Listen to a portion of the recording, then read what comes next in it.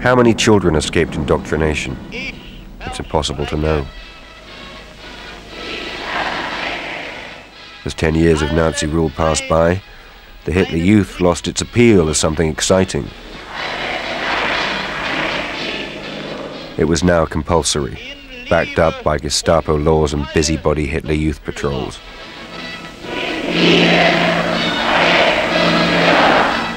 More and more, the rebellious thing was to refuse to join.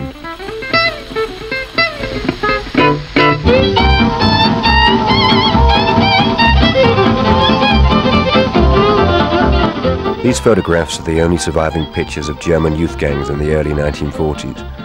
The Edelweiss Pirates, the Texas Band, the Navajos. They beat up Nazi officials, wrote graffiti on walls, but mostly they just hung out and listened to American jazz. Their casual, fun-loving attitude made a mockery of Nazi control. They dance outrageously. They call it swing.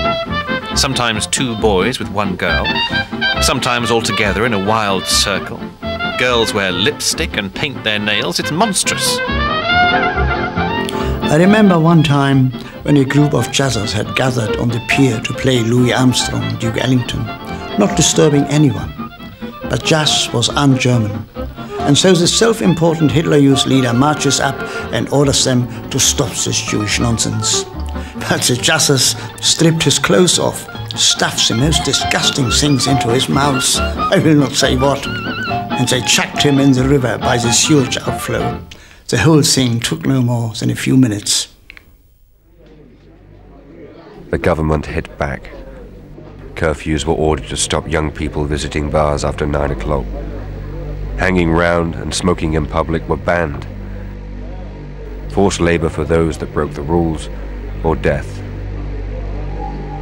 This photo shows the fate of 12 young Edelweiss pirates caught in Cologne in 44.